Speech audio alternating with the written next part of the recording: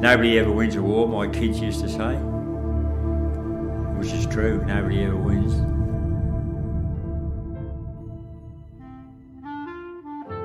Now, I was born in Ascot Vale, very close to the Royal Melbourne Showgrounds, in 1924. So that's where I grew up and lived until I was married in 1948. Well, it was very hard in those days because, as, as you know by the date now, it was a depression and there wasn't much money around. There was a terrible, terrible lot of empty houses in Ascot Vale.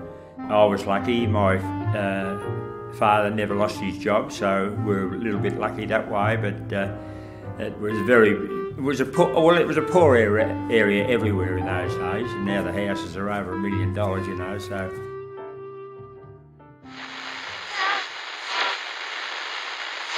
Nineteen thirty nine remember Menzies getting on the, the radio and saying war's been declared and we're in it. I was in playing euchre with my parents because one of the, the euchre partners didn't turn up and I was, uh, what was I then, 39, 15.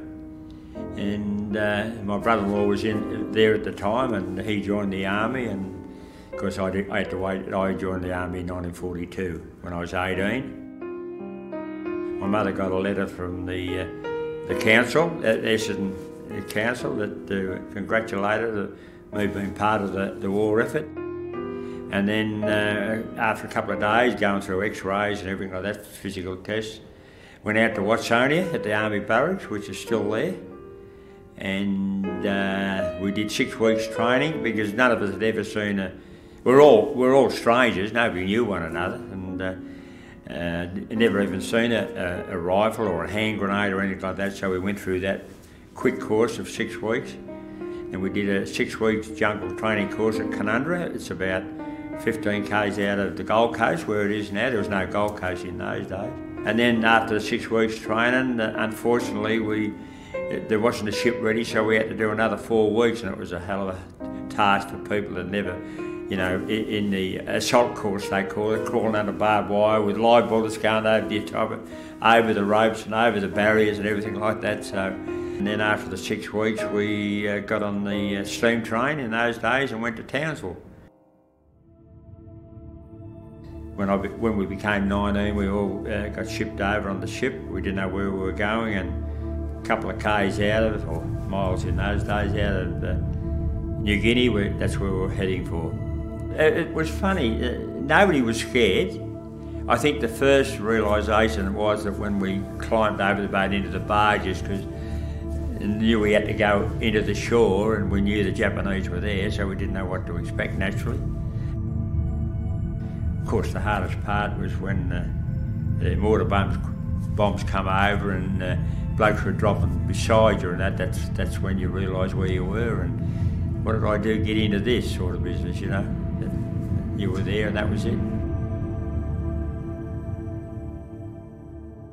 I had to lead a patrol one day and there was only three of us. And one day there we, we went and we come on a, on a great big uh, couple of companies of Japanese and we, we saw the, the uh, wire, uh, the radio wires uh, along the tracks and that and we kept off the tracks. And then they opened up on us and then we ran, ran got out like hell because we were told not when it got down to three, we wasn't allowed to attack the enemy unless it was a straggler or anything like that.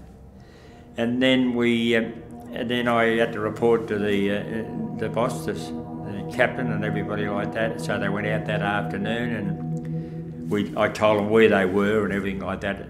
The whole platoon went out in the afternoon. We were on the left, one up the centre. I said, don't send them up the centre as a track because that's where they open up on us. He didn't take any notice. He was only a raw new lieutenant, and he sent him up the track, and we lost five, you know, straight away.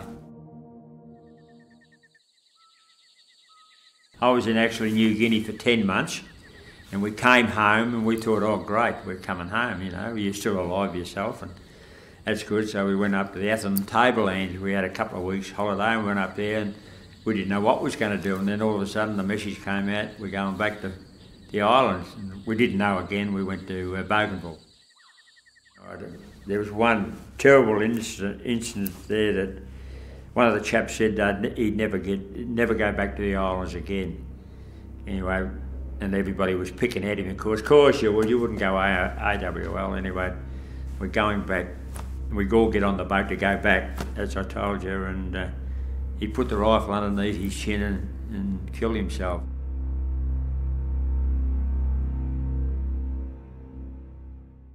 We're on Bougainville for uh, 12 months. But only nine, we got there in December and the war finished on the 15th of August. And then we had to wait for a ship, take it in turns to get home but because there's not many ships around, a lot were sunk naturally. And so they built a football ground and we played football and they played rugby and they had athletic because they had to keep us occupied, there's nothing to do. A lot of the blokes, it's a sad thing to say, were troppo and that they wanted to get home and they'd sit on the edge of the, of the beach just looking out to sea for a ship and they'd see them go past but you know, it, it was uh, just on four months until we got home. It, war finished on the 15th, I think I got home on the 12th of December. To be honest, it, it's a hard thing to say, but it was just like a job. You know, like they'd be carrying the stretchers past us as we were going forward that were in other sections that were getting wounded and killed and that. And, uh, you know, it, it, I don't know, it didn't faze you, unfortunately. It, it's funny to describe, really, because you just had to keep going, I suppose, get it out of your mind. You know, one chap there, I remember Jack Boswell, it was his name, and he was on the stretcher and they stopped for rest because they was carrying him through the jungle up the hills and that, you know, mountains I should say. And they were talking to him there and that, and then about 12 hours later we got the word that he died, and just we just couldn't believe it, you know. You know, things like that that Joe Monkhorst, some of the blokes I never remember you know, but Boswell and Monkhorst and Schooler, they're the ones you can remember because you were there when it when it happened, you know. And you feel guilty at times, you know. Why am I here and they're, they're gone sort of business. So, you know, that, that's how, how it went. You, as my as I said, my granddaughter said, if, if you want to come back, I wouldn't be here, Pop. So, and that, that's what it was. Your, your name wasn't on the bullet or the bit of shrapnel that, that killed our other bloke.